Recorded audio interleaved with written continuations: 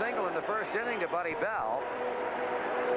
Has retired the first two in the second. Faces that man, Tony Perez.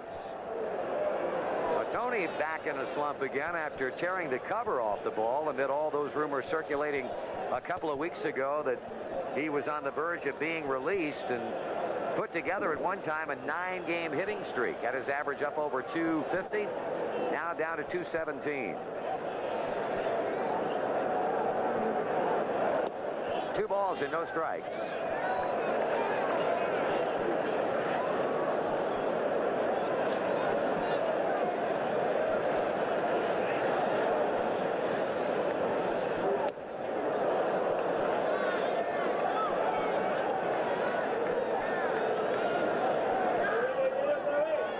They've had a pretty good run of late against left-handed pitching, but when you've been playing the kind of baseball they've been playing, you, you're going to have success no matter who you might go against. But boy, this guy's something. And Tony comes up with a second Reds base hit.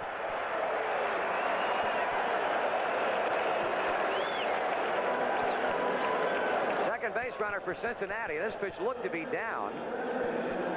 And it was. And Tony went right out and got it and laced it right back through the middle.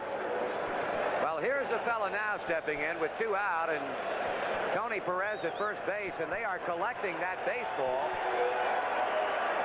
Because that is career hit number 2,700 for Tony Perez.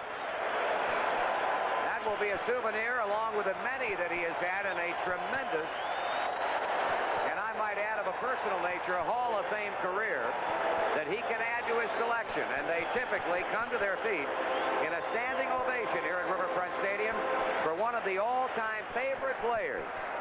And there's one of his closest friends, Pete Rose, leading the applause.